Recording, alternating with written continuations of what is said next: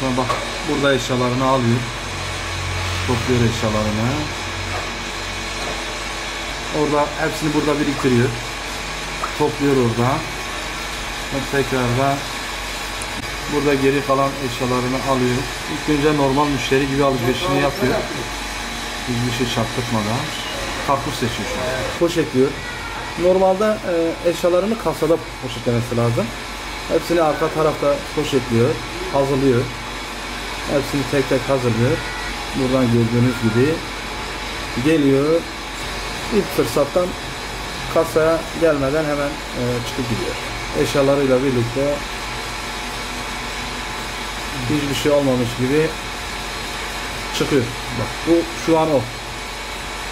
İlerliyor.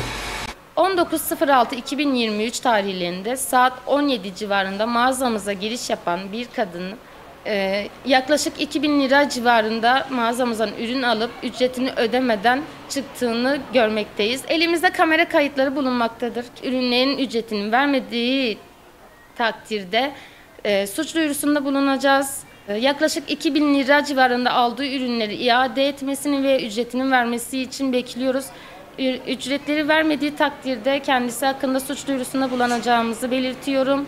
Son bir ayda mağazamızda bu tarz olayların çok olduğunu görmekteyiz. Sürekli e, görmemezlikten geliyoruz ama artık emeğimizin yok olmasını istemiyoruz. Biz de burada çalışanız.